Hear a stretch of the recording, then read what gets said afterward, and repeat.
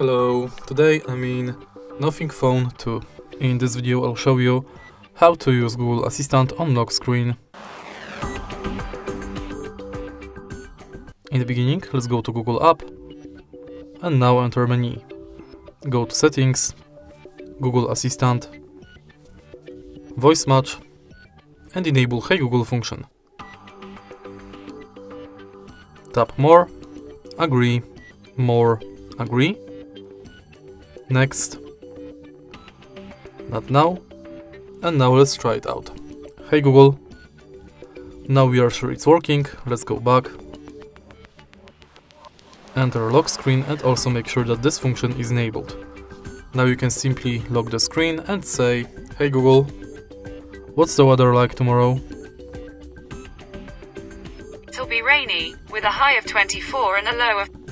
And that's basically it. If you find this video helpful, please leave like, comment and subscribe.